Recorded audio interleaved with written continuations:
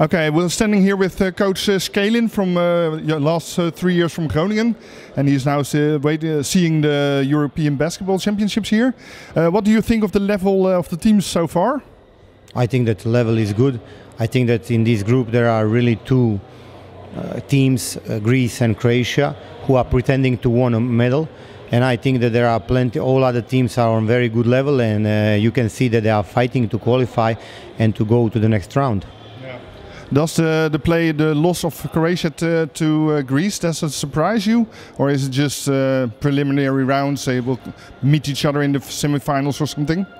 I don't think that is a big surprise. I think that is possible that any of these teams uh, are winning a game. Uh, problem for, uh, for, for Croatia was that we had uh, two injured players. Normally, these are very two important players for us, starters and uh, I think uh, we have been controlling game for 35 minutes, and then end of the game we lost. Uh, practically, we lost the game in the last two minutes. Uh, I think that our rotation was a little bit too short. That uh, we didn't have uh, enough rotations and maybe not enough quality. Not we have been missing some important players, some points in the offense. So that was reason. But I'm I'm I'm deeply convinced that we can win Greece without no any problem in the next round. Yeah, I noticed that uh, Bogdanovic was not playing because he got injured the day before. Which uh, other player isn't uh, not, not here?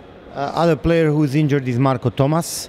He still didn't play uh, in uh, on European competition because he had some severe injury just before of that. He's a very important player for us, and medical staff from a national team is working, and we hope that soon he will be back.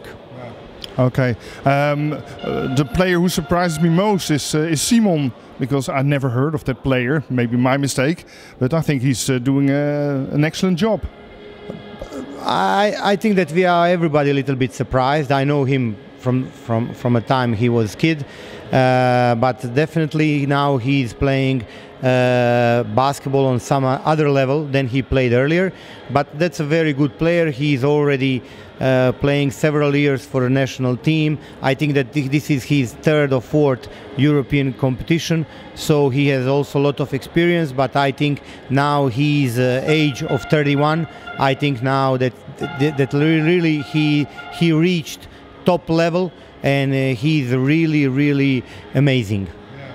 Okay. Uh, you said uh, earlier that you uh, saw the Dutch win against Georgia. Uh, does it surprise you that the Dutch uh, win? First of all, big compliments for the team, for the players, for the coaches, for whole organization, because I think that uh, from the beginning they have been kind of outsiders. team no one didn't count. I think that all these teams were counting that against Dutch uh, team. They will have easy job you know then they, they have uh, they, in which they can calculate give a rest to some players. But the first of first they had an amazing victory first day against Georgia who's a really good team uh, with one NBA player, with one ex-NBA player, with several guys who are playing EuroLeague. So really, uh, all my compliments to a Dutch team. And after that, we saw two games against Macedonia and Slovenia, who are also very good European teams. We saw that the Dutch team was playing till the end. So really compliments to, to, to, to, to all the members of the team. They deserve it. I hope now they have two games in front of them, which are normally against the strongest opponents, Croatia and Greece. I, I, I, I, hope for them that they will that they will continue playing on a level they play till now. Yeah, we hope that we. Uh, can say a little bit with the other team that we don't lose uh, that much with that, that much difference because we you don't want to lose with 40 or 30 no, but I think that everybody should be proud. I think that uh, uh, this is first time I think uh, after 25 years. Am I right that uh, that uh, that a team is on European competition, and I think that that that really everyone, everyone in Holland uh, can be proud on them.